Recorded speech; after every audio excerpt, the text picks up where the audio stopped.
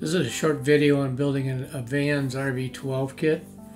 My hangar neighbor Ben uh, approached me and said, Jimmy, you interested in building another airplane? I had a Zenair 601 HDS that I was flying. He had a Vans RV uh, 6A. Looked at several different kit options. I decided on the Vans RV-12. In September of 2008, we ordered the wing kit. It arrived in November of 2008. So we were working on that. I'm building it in my hangar in Blairsville, Georgia. Ben uh, was able to help me occasionally. Uh, he was doing a little commercial flying on the side. Uh, he was a retired FedEx pilot with, uh, I think, 20 plus, plus years in the Navy as a A7 uh, pilot.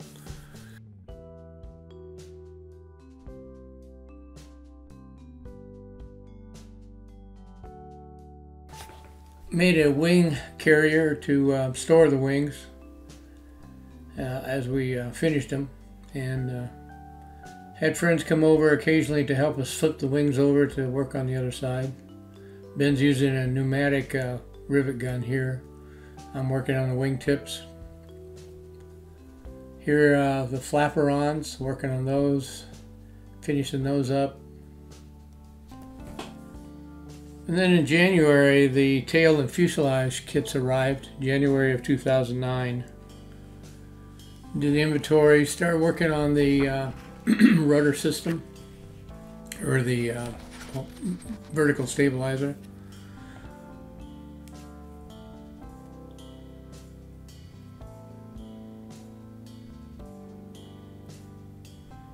We had quite a few solid rivets that you had to squeeze, and but the majority of the rivets were pulled rivets.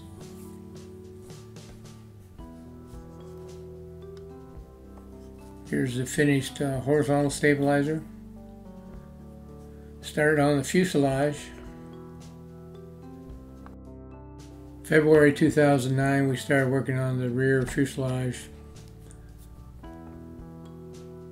Occasionally, friends would drop by, we'd have them pull a rivet so they could say, Yeah, I worked on that project. Here's the rear fuselage.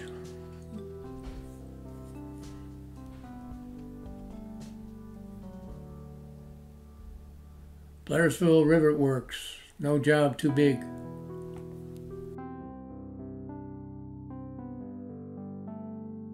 Had friends uh, help us uh, attach the rear tail assembly, hold it in place. Then we uh, carried the fuselage over to a neighbor's hangar to store it.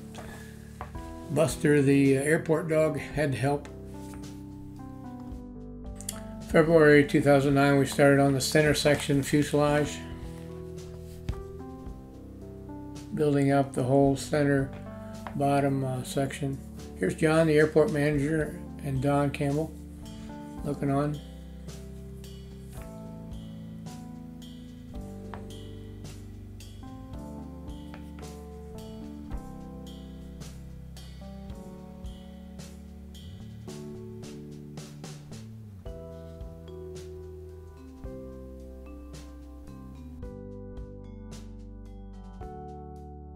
Total times up to this point was a little over 220 hours of labor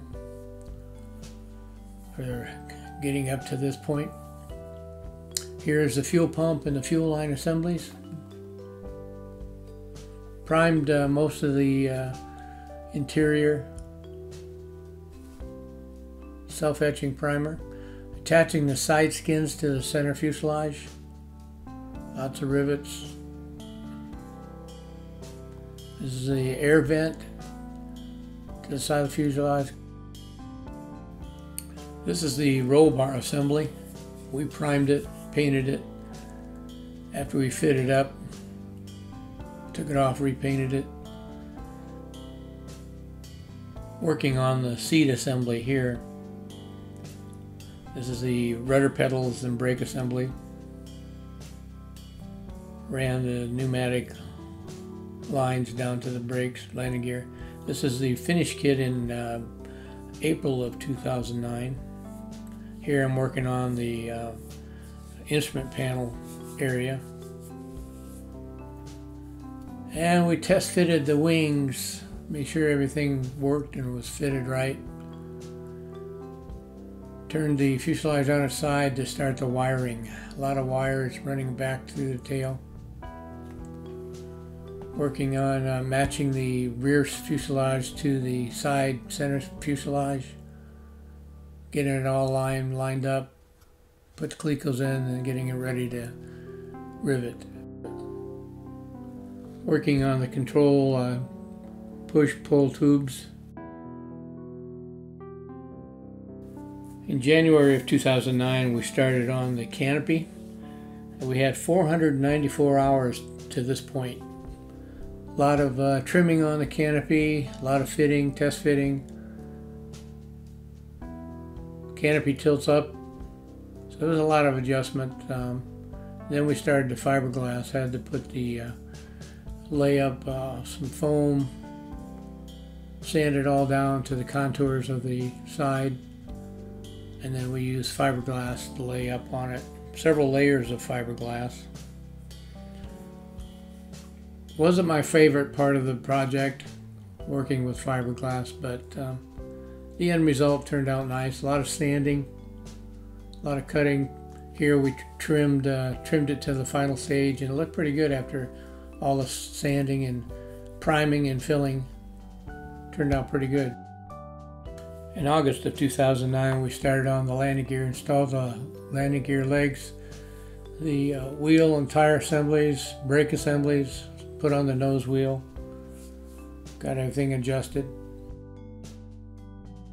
August 2009, we started on the engine cowling. Uh, a lot of cutting, fitting, uh, on and off, on and off, many times to get it all adjusted and squared up right. working on the fiberglass tail cone assembly.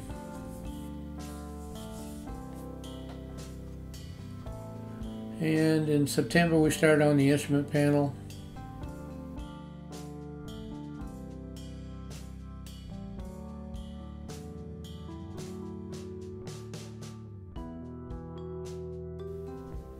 Here's the uh, fuel tank. You had to assemble it a lot of Pro Seal on the inside, special uh, rivets that we used, and then we leak tested it, make sure everything was not going to leak. Putting on the uh, nozzle uh, piping down to the fuel tank. This is what it looked like after we installed it. The end of September 2009, the engine kit uh, arrived.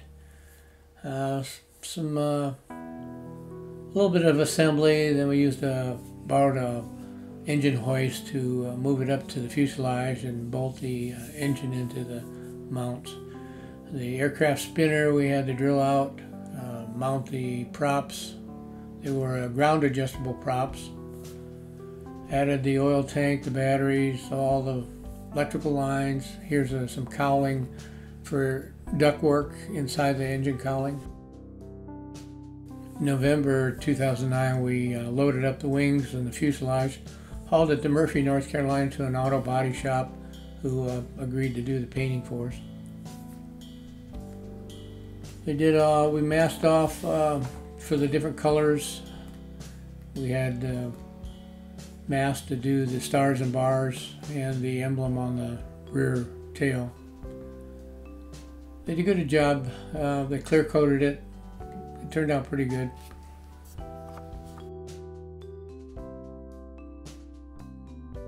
So about a month and a half later, December, the end of December 2009, um, the project was uh, done. We hauled it uh, back home, back to Blairsville Airport.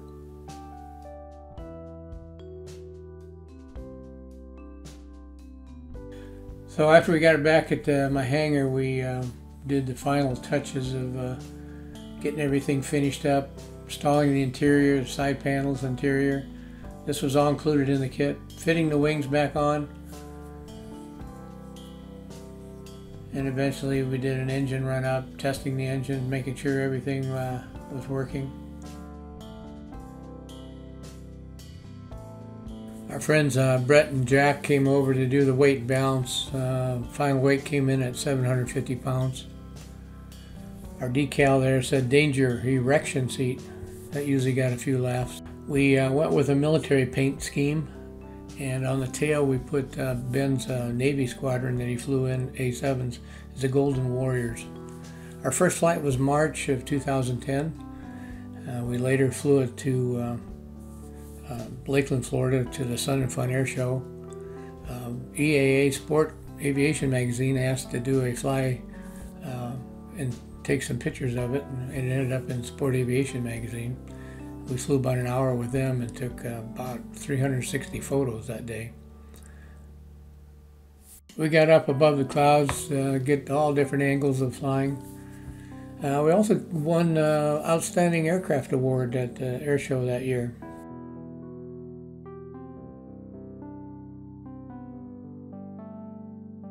After finishing Ben's airplane, a friend asked if I'd build another one with the same paint job, but he wanted his Army insignia on his tail, so we finished that about a year later. Uh, a friend of mine bought that, Randy. And then my neighbor uh, next door said, Well, you built two of those. If I buy a kit, will you help me? So we ended up working on uh, Bill's airplane. That's the red one in the back. It's a great airplane to fly, a lot of fun. Um, enjoyed building them.